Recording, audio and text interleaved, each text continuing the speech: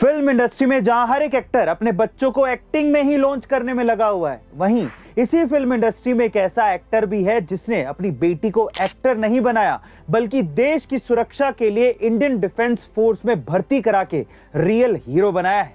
कौन है वो एक्टर जिसने अपनी बेटी को डिफेंस फोर्स में भर्ती करा दिया? दरअसल, उत्तर प्रदेश के अभिनेता से नेता बने रवि किशन की 21 साल की बेटी इशिता शुक्ला ने अग्निवीर स्कीम के तहत डिफेंस फोर्स में शामिल होकर अपने पिता का सीना चौड़ा कर दिया है। लोग इशिता के इस फैसले और हुनर की तारीफ़ करते थक नहीं रहे। खास बात यह है कि इशिता एक एनसीसी कैडर रह चुकी हैं और साल 2022 में उन्हें एनसीसी के एडीजी अवार्ड ऑफ़ एक्सीलेंस से सम्मानित भी किया गया था। साथ ही उन्हें कर्नल राज्यवर्धन सिंह राठौर ने बेस्ट कैडेट का अवार्ड भी दिया था। गाइस आपका रवि किशन की बेटी के इस डिसीज़न के बारे में क्या कहना है? कमेंट सेक्शन में ज़रूर लिखेगा। एक बार फिर से सोशल मीडिया पर एक माँ की ममता से भरा खूबसूरत वीडियो लोगों को बहुत भावुक कर रहा है, जिसमें कोई इंसान नहीं है, बल्कि है एक गाय। पर ऐसा क्या खास है इस वीडियो में? गाय जानवर भी अपने दर्द और खुशी को बयान करते हैं, जो इस वायरल वीडियो में साफ़ साफ़ देखा जा सकता है।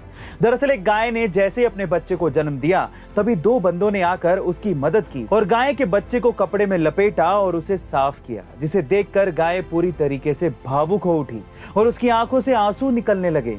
वो गाय भले ही कुछ बोल ना पा रही हो, लेकिन जिस तरह से वो गाय उस बंदे को अपनी जीप से सहलाकर आभार जता रही थी, उस गाय के इस अंदाज ने लोगों का दिल जीत लिया। वैसे गाइस गाय के इस भावुक अंदाज को देखकर आपको कैसा फील हो रहा है कमेंट सेक्शन में ज़रूर लिखेगा। प्यार कब, कहाँ और किससे हो जाए, ये कहा नहीं जा सकता। ये ना रंग देखता है, ना रूप देखता है और ना ही सरहदों को देखता है। और कुछ ऐसा ही किया इस पाकिस्तानी महिला ने जो सरहदों को लांग के पाकिस्तान से अपने प्यार के लिए भारत पहुँच गई।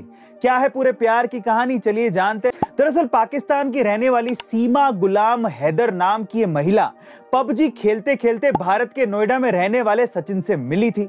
धीरे धीरे चैट के ज़रिए उनकी रोज आपस में बात होने लगी और बात प्यार में बदल गई। फिर क्या था? सीमा पर सचिन के प्यार का जुनून कुछ इस कदर चढ़ा हुआ था कि सीमा ने सारी सीमाएँ ही पार कर दी।